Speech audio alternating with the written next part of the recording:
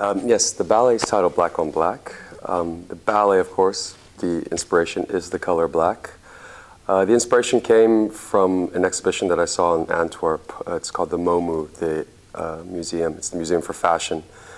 And Antwerp, as many people know, is one of the central or many one of the capitals for fashion. Um, in this exhibition, this particular exhi exhibition that I saw about a year and a half ago, uh, it was a whole exhibition just on the history of fashion, all dealing with black. So coming from Renaissance onward to designers like Alexander McQueen or, or Issey Miyake or some of the Dutch designers or Chanel. The exhibition left a strong imprint um, in my mind. I was completely fascinated by by the exhibition, and that that got me to, to look further into the into the subject. And from that, I discovered a book from Michel Pastoureau, who's a professor at the, in Paris at the Sorbonne University, and he has written a book called Black: The Color of a History, or the History of a Color. And in that, he talks about the whole social impacts, whole social and psychological impact that uh, black has had mainly dealing with the Western world, but what it has had, what kind of impact it's had on us as a society. Um, so from this information, I started to, of course, before that, I also, I have myself a really strong, um, I, I, love the color black. I think in design, black's a really important color and it's the purest form to see something. And that then just kind of initiated everything, uh, inspired me to dive further into that and to go further and, and, and to create this ballet.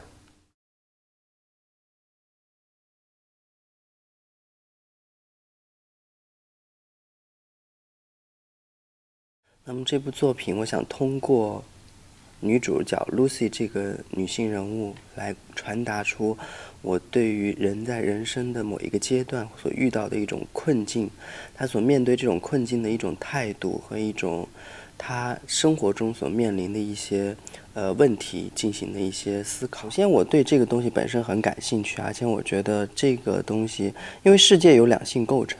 对吧？然后很多问题，那不不可避免，这就是两性，很多都是两性的问题。当然，它有很多其他的问题，但是作为呃艺术来说，往往很多的东西涉及到的是男人和女人之间的一些呃事情，啊。探讨两性关系，是因为我深刻的从这一部作品，从这个人物身上感受到了那种来自于两性之间差异的一种压抑感。这种东西让我有冲动想要表达出来。其实不是说要探讨两性关系，我觉得根本探讨的是一个人性的，人一个个体本身所拥有的一种状态和一种无法解决的一个困境的东西，是通过两性这样的一个方式。来探讨个人。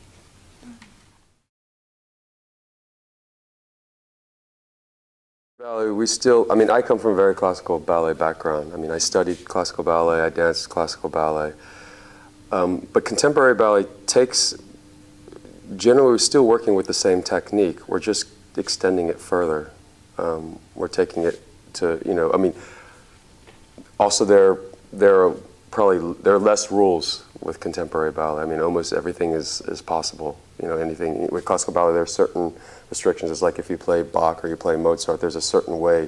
I mean, there, there's maybe a certain freedom within a restricted area, but there is a way to play those pieces of ballet. And classical ballet is the same way. You know, if you do Swan Lake or you do Don Quixote, there's a certain way or an expectation that you should perform those works. Uh, contemporary ballet takes the technique and there's allows them greater freedom in, in the movement and the interpretation of the of the te technique and the movement. 是一个文化上或者是一种理念上的转变。其实从外在形式上来说，呃，并不能真正代表什么是当代和古典。那么，当然有一个模式，古典芭蕾在那个时期也可以称作是当代芭蕾， 它也是经过了这样的一个不断的一点点的变化和发展。那么走到了今天，我想，所谓的当代芭蕾可能是更多融入了我们现代人的一些思考。我们当代人在当下这种生存状态下的思考，更多于一种形式上的东西。呃，那我觉得当代芭蕾给我的感受，其实就是说我们现在此刻我们所感受到的东西，我们用我们最最最呃最自如的方式去表达出来。They're generally really fantastic to work with in the studio, so they have a great concentration. Second, their technical level is very good. I mean, as I told Madeleine, I said many of these dancers could dance in any of the international companies. Uh, they would be on par with any of the other dancers. So, I mean, when you're making a creation, I think if you're a painter, if you're a designer, when you have um, beautiful medium to work with or, or, things things in a room that, that inspire you, this is really important. And, and so the dancers for choreographer are are one of these points. There are working tools as well as we, we get inspired by them. And uh, I find many dancers here that, uh, that offer uh, that inspiration as a choreographer.